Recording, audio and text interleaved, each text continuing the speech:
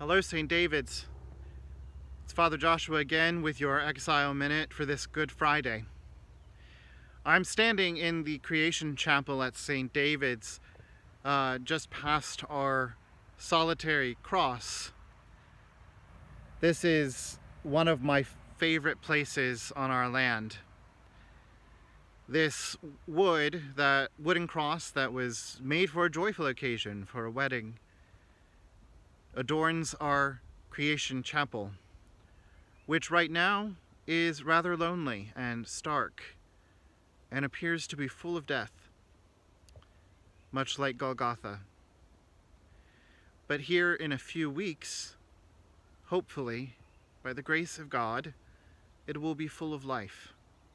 Whether or not we're able to come back and plant things, there are perennials, herbs that will green up and shoot up and feed the people and feed the animals around us.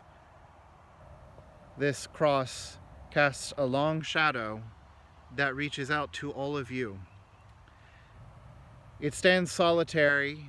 It seems like it's in an empty place right now.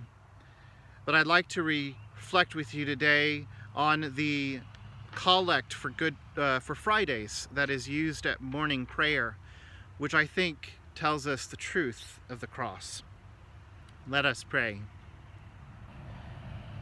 Almighty God, whose most dear Son went not up to joy, but first he suffered pain, and entered not into glory before he was crucified, mercifully grant that we, walking in the way of the cross, may find it none other than the way of life and peace.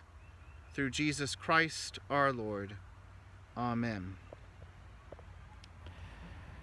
Today we reflect on the hard wood of the cross, where Jesus stretched out his arms so that all of us may come into the wholeness of his loving embrace. We are suspending our gatherings right now. We are not hugging each other in public or even shaking hands. But through that cross, we are all embraced by God. Through that cross, we have all been adopted by God. We are all one, one community because of that cross. As I said, the shadow of that cross is long and stretches to you wherever you are. May you have a blessed Good Friday. This has been Exile Minutes with Father Joshua. I'll see you tomorrow.